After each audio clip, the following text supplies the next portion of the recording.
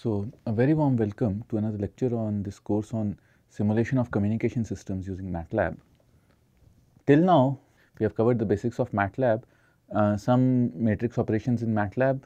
We have talked about generating signals in MATLAB, their Fourier analysis, convolution naturally and uh, we have talked about uh, randomness and probability. So, this will this lecture will be different from all the previous lectures in the sense that uh, so the earlier lectures on uh, introducing MATLAB were heavy on programming and uh, they uh, talked about some ideas from mathematics. Then the last three or four lectures about uh, probability theory were uh, involved next to no programming or actually no programming and they talked about mathematics.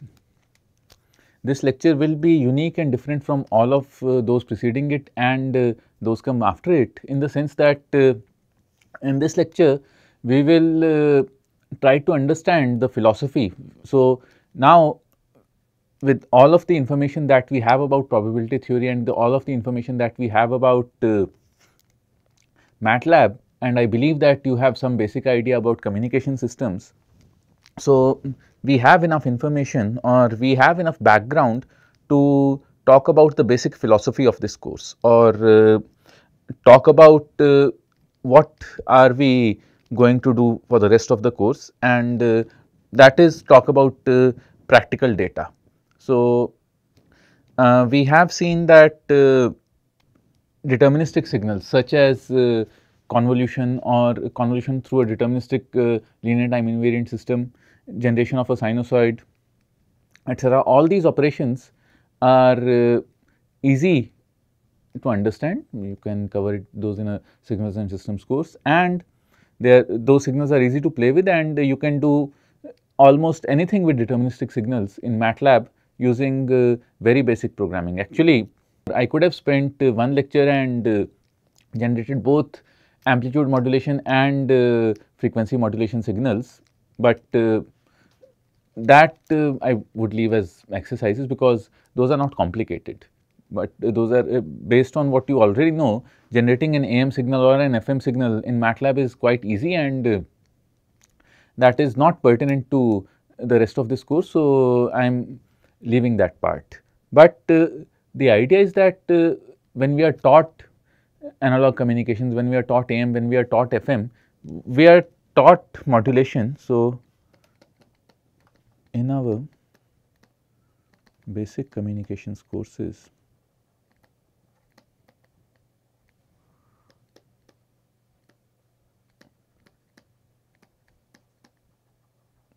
Taught modulation.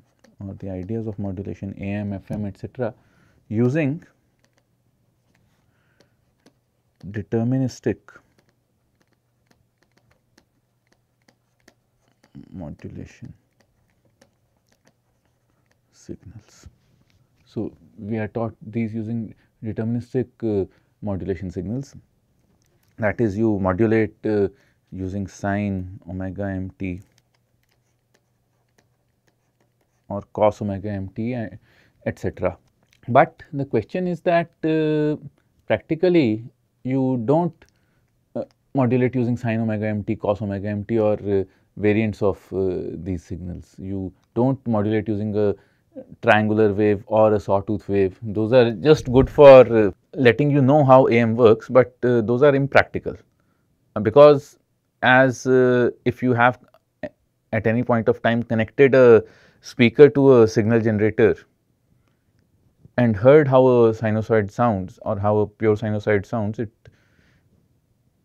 sounds like a single note from a piano if you haven't heard of it. So, it will go like uh, it will sound if you produce a sinusoid it will simply sound like a something like uh, a plane wave totally constant. So, it will basically act as uh, in a pure sinusoid is an irritating irritant noise. So, you do not want that. So, now the question is that uh, if we talk about practical AM or practical FM systems, we do not want to hear sinusoids on practical AM or practical FM systems. In fact, if a receiver wants a sinusoid, say cos omega mt, sin omega mt, if a receiver wants those, they can just know the frequency and generate it on their own rather than uh, having it be transmitted to them via FM or AM or anything like so that. So, this raises two questions. One, then why do we build all use cases using these?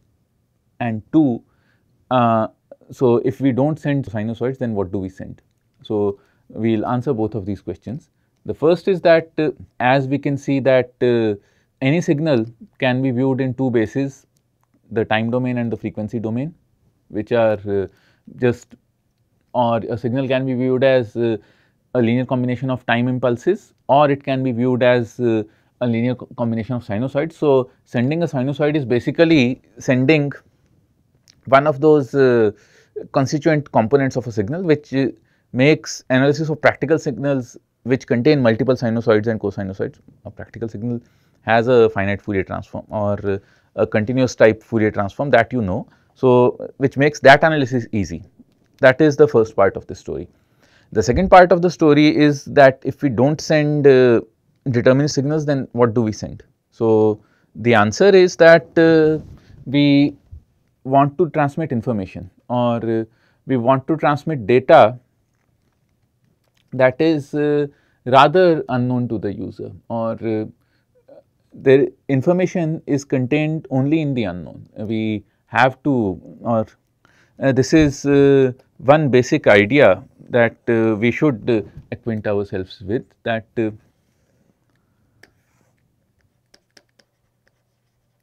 information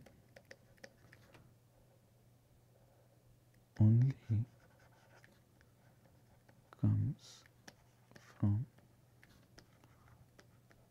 uncertainty or the knowledge of something or knowledge of how something works or the knowledge about something can contains information only if you are uncertain about how it works.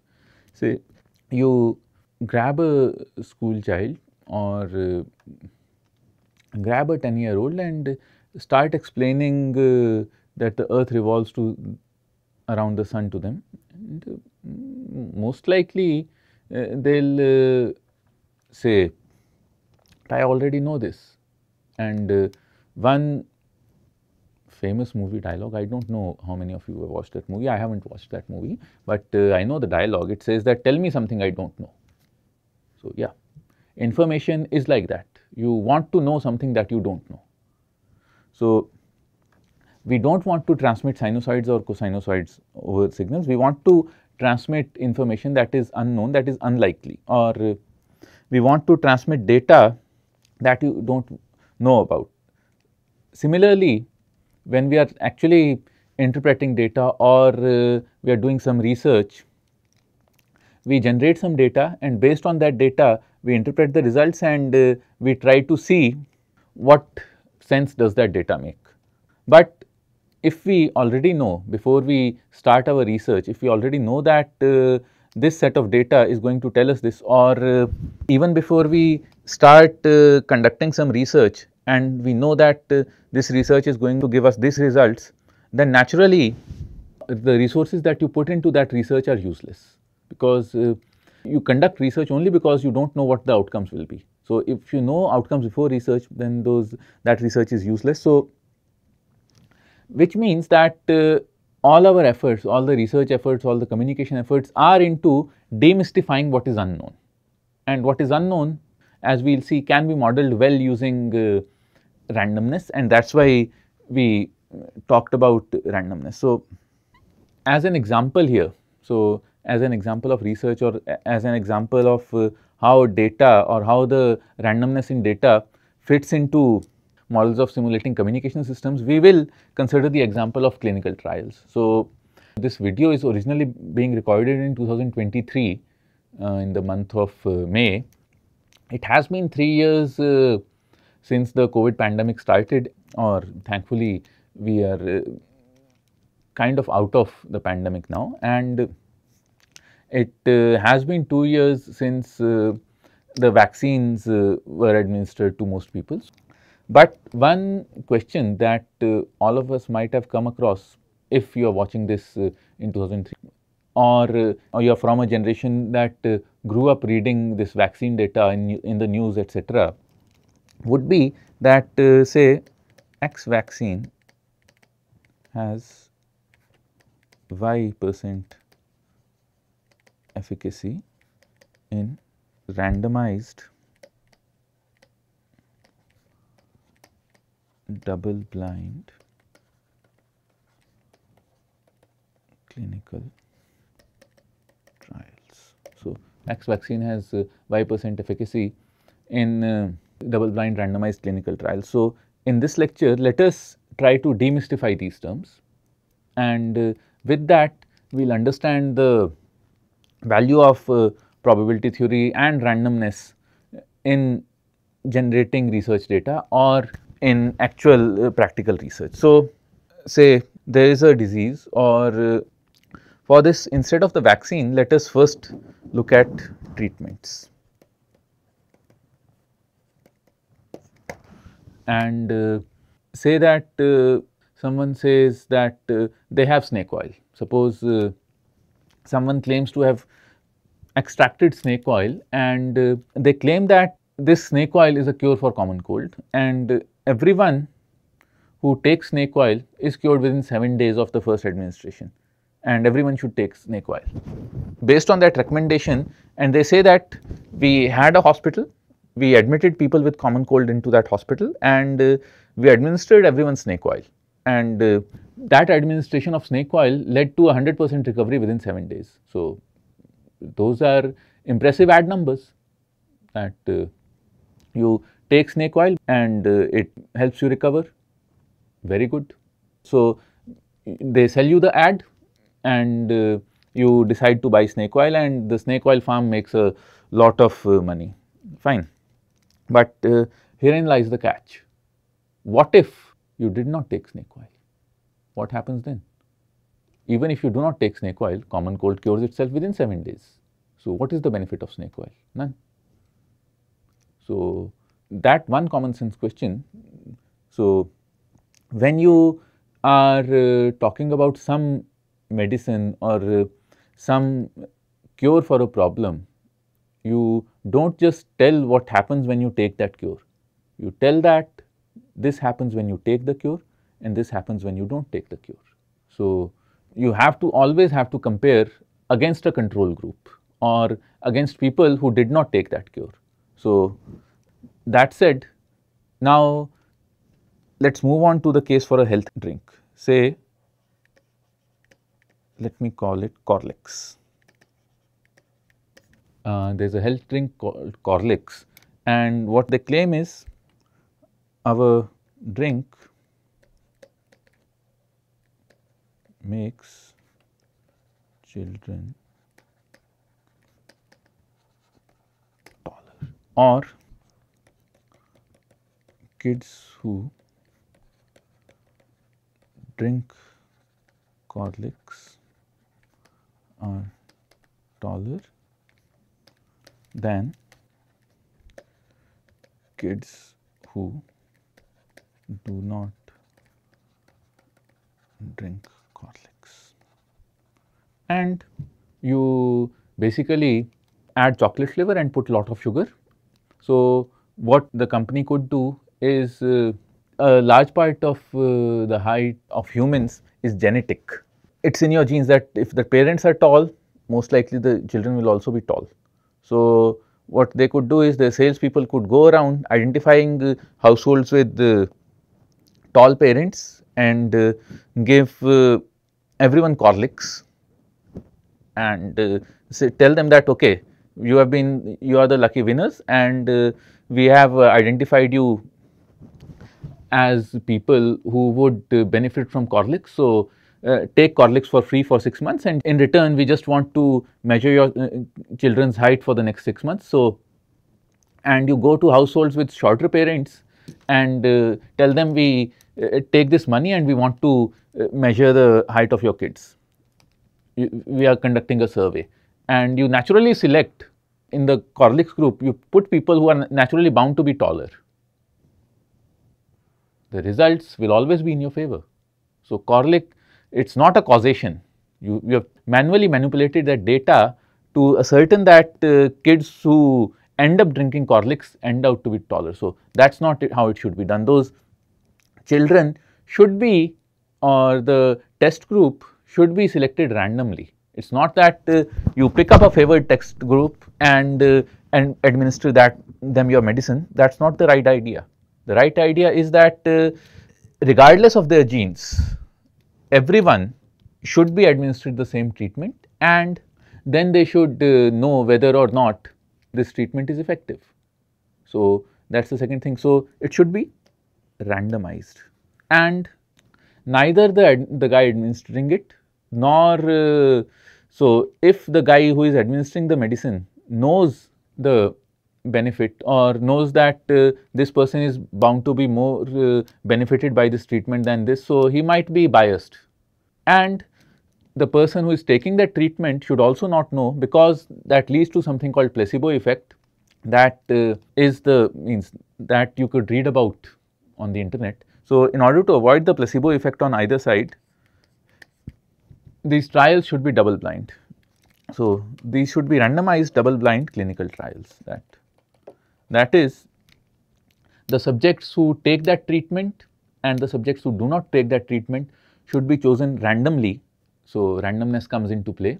So, you can say that you can have uh, identical sugar solutions or identical sweet solutions and uh, put the Corlicks components in one of those and uh, do not put the Corlicks com components in the other one. And uh, just mark them blue envelope and, and green envelope and you do not know what is in the blue envelope and what is in the green envelope. So, half of the people take the blue envelope, half of the people randomly take the green envelope. And then you determine the performance of the blue envelope against the green envelope and then you tell them that uh, at the end the guy who is analyzing the data should know that uh, uh, the blue envelope contained this and the green envelope contained this. So, you know that way.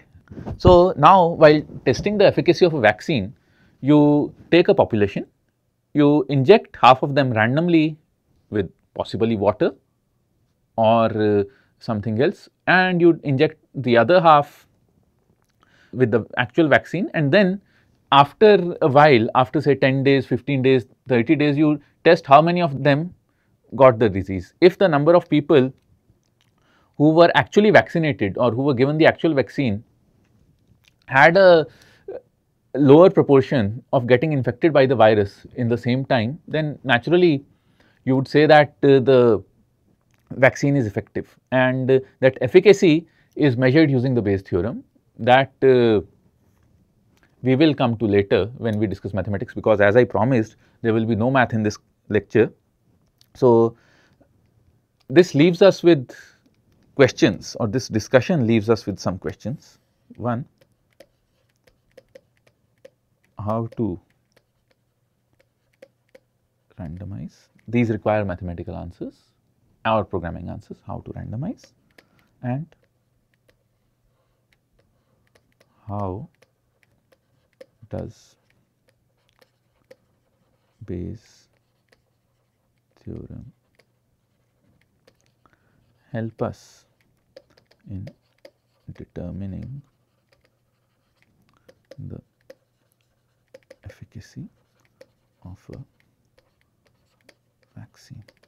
So, out of these the second question that is how does uh, the Bayes theorem help us in determining the efficacy of a vaccine that I will answer in the next lecture and uh, how do we randomize we will uh, answer in the lecture after that.